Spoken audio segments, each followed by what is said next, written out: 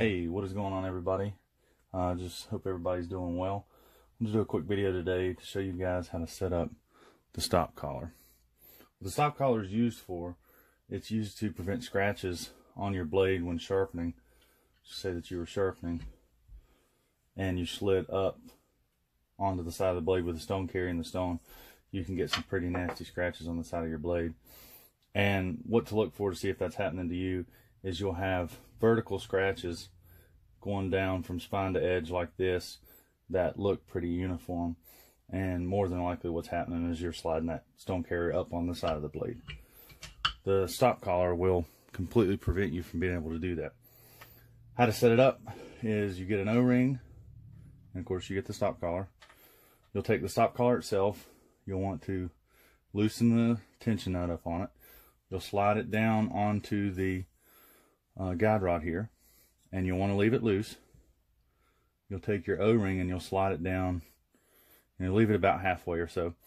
The O-ring is used uh, more or less as a depth gauge.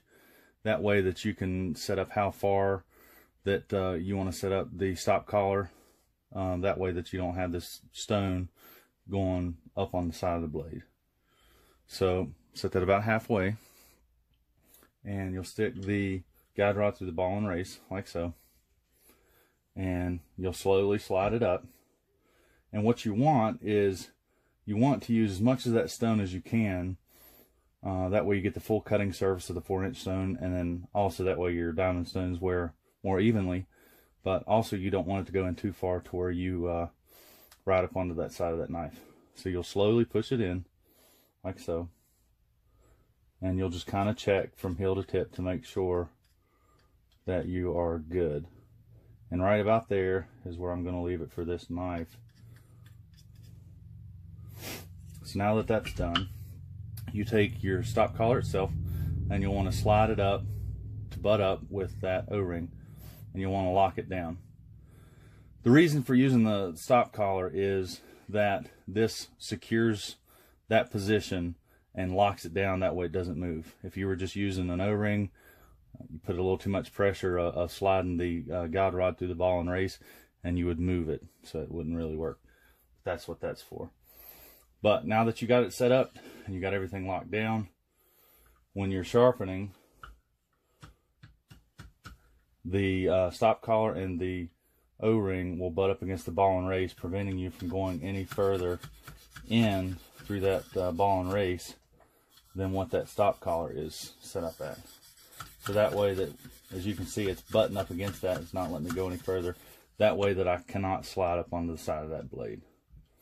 I have another knife here that uh, I already have set up, clamped up, and I'm going to show you the same process. Now that we got this other knife set up, uh, I'm going to show you how to do the same process with setting the stop collar up um, for this one as well. So, of course, you want to make sure that your stop collar is loose, which it is and you'll slide that O-ring back up, you know, about midways or so. You'll stick the guide rod through the ball and race, just like we did on the last one, and slowly slide it up through, just like so. And you'll want to check from heel to tip, going just a little bit further, and that looks about good. So, you'll take your stop collar, butt it up next to that O-ring, lock it down snug it up and now you're set up and ready to go.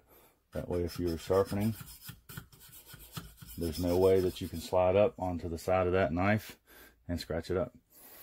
I uh, hope this was helpful for you guys and uh, if you have any questions just let me know. But uh, otherwise hope you guys have a nice day. See ya